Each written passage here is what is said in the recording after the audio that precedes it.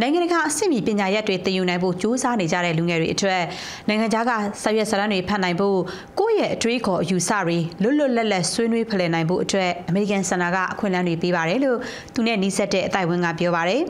မြန်မာနိုင်ငံလွတ်လပ်ရေးရပြီးမကြခင်မှာပဲအမေရိကန်ပြန်ကြားရေးဌာနအဖြစ်စပြီးတော့ဖွင့်လှစ်ခဲ့တဲ့အမေရိကန်စင်တာဟာ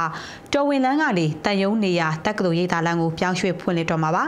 အမေရိကန်စင်တာမှာလူငယ်တွေအတွက်ဘယ်လိုအခွင့်အလမ်းတွေရှာဖွေနိုင်မှာလဲကိုကောင်းဆိုင်ဟင်ကတင်ပြထားပါတယ်ရှင်။ ရန်ကုန်မြို့ပန်းဆိုးရန်လမ်းမှာ1949ခုနှစ်တုန်းက United States Information Service အဖြစ်နဲ့စခဲ့တာကနေဒီကနေ့မှာတော့ American Center အဖြစ်အသွင်ပြောင်းရပ်တည်နေပါတယ်။1993ခုနှစ်ကနေ2019ခုနှစ်အထိတော်ဝင်လမ်းမှာ American Center ကိုဖွင့်လှစ်ခဲ့တာကနေမကြာခင်မှာနေရာတစ်ကိုပြောင်းရွှေ့တော့မှာဖြစ်ပါတယ်။ American တန်ယုံရဲ့ပြည်သူ့ရေးရာဌာနလက်အောက်မှာရှိတဲ့ဒီ American Center ဟာဆိုရင်လက်ရှိမှာမြန်မာလူငယ်တွေအတွက်ပညာရေးနဲ့ပတ်သက်လို့ပပောင်းဆောင်ကနေကူညီပံ့ပိုးမှုတွေကိုပေးနေပါတယ်။ တော်ဝင်လဲ American Center ကနေလွန်ခဲ့တဲ့24နှစ်တာကာလအတွင်းမြန်မာလူငယ်တွေအတွက်ပံ့ပိုးကူညီနိုင်ခဲ့တဲ့အတွက်ဝမ်းသာတယ်လို့မြန်မာနိုင်ငံဆိုင်ရာ American တန်အမတ်ကြီး Scott Marcier က VOA ကိုပြောပါတယ်။ Well, our whole engagement uh, in Myanmar is about the future. မြန်မာနိုင်ငံနဲ့ကျွန်တော်တို့ထိတွေ့ဆက်ဆံတယ်ဆိုတာကအနာဂတ်အတွက်ဖြစ်ပါတယ်။ မြန်မာနိုင်ငံအတွက်ပို့ပြီးတော့ကောင်းမွန်တဲ့အနာဂတ်ကိုတည်ဆောက်နေကြသူအားလုံးကိုပံ့ပိုးကူညီဖို့ဖြစ်ပါတယ်။အထူးသဖြင့်တော့လူငယ်တွေကိုကူညီပံ့ပိုးပါတယ်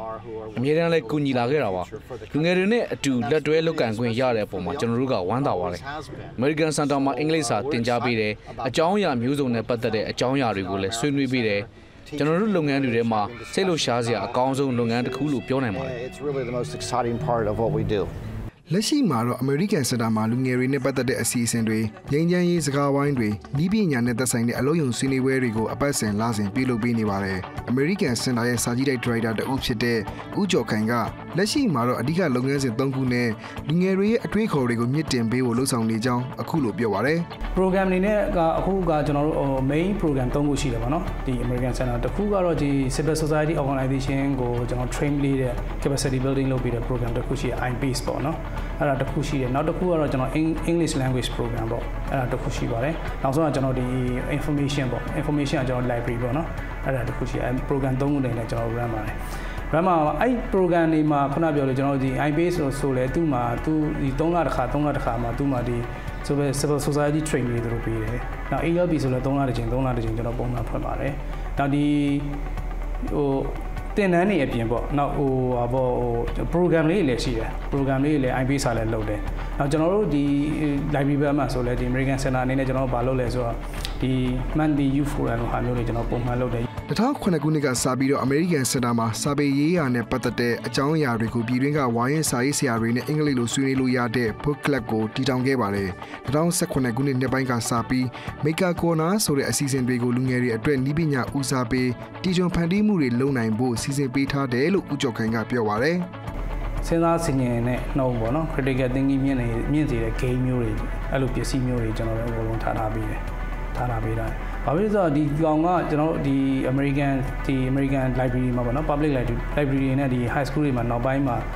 တအားခက်စားလာတယ်အဲ့ဒီဟာကပေါ့နော်နောက်ဟိုကျွန်တော်တို့ဟိုဟိုပစ္စည်းလေးတွေပေါ့ဒီဟိုဆိုတော့ကျွန်တော် legal ဟာမျိုး legal ဟာလို့ဟာမျိုးအပြင်မှာလည်းဈေးများတယ်ဗျာဈေးကြီးတယ်ဒီကောင်တွေကတင်မှာဒါအဲ့အဲ့မျိုးဆိုရင်ကျွန်တော်တို့ကဆိုမ robotic ကိုစိတ်ဝင်စား program မျိုးကိုစိတ်ဝင်စားတယ်အဲ့လိုလူမျိုးတွေတော့ကျွန်တော်ဆိုရင် computer ချပေးထား laptop တွေချပေးထားတယ် ပြီးတော့အဲ့ဟာတွေကိုခုနပြောကျွန်တော်မှ Lego Mindstorm ဒီ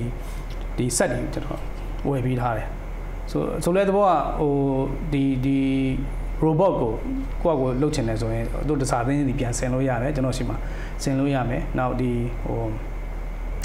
သူ programming သူတို့ program ကိုသူတို့ test လုပ်လို့ရမယ်အဲအဲ့လိုမျိုးကျွန်တော်ကတော့မျှော်လင့်ထားတာပေါ့ဒီအခုဗမာ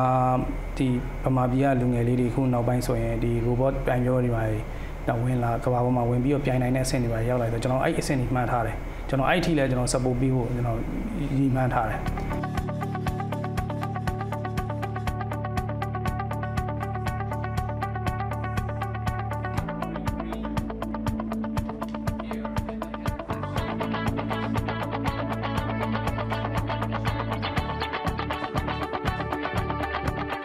လွန်ခဲ့တဲ့နှစ်ပေါင်း90ကျော်လောက်ကတည်းက American Center မှာအသင်းဝင်တယောက်ဖြစ်ခဲ့ပြီး booklet ကိုတည်ထောင်ခဲ့သူတွေထဲမှာလည်းပါဝင်ခဲ့သူတယောက်ကတော့ဒေါက်တာခင်မောင်ညိုပါ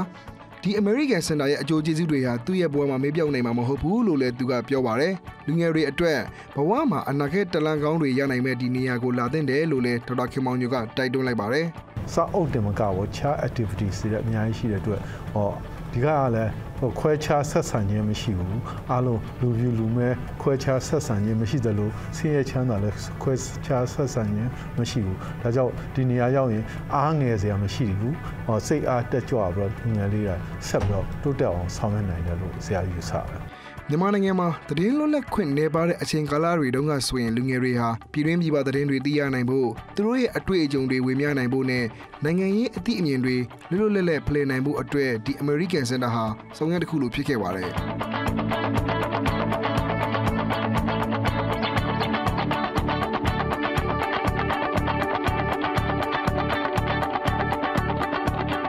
လူငယ်တွေအနေနဲ့ကတော့ခုနပြောလို့ကျွန်တော်ကတော့ဟို